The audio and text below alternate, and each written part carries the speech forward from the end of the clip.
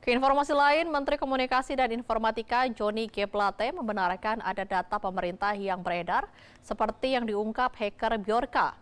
Namun menurut Menkominfo, data tersebut bersifat umum.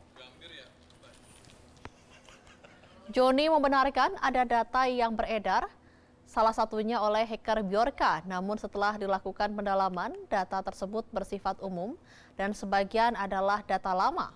Selain itu, tim lintas kementerian lembaga, Badan Cyber dan Sandi Negara, Kominfo, Polri, serta BIN juga telah berkoordinasi melakukan telaah mendalam atas data yang disebar hacker Bjorka.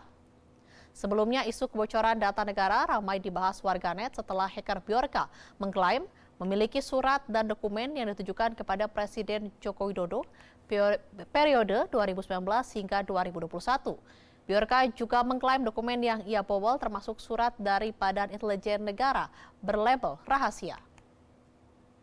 Memang ada data-data yang beredar ya oleh uh, ya salah satunya oleh Jorka ya.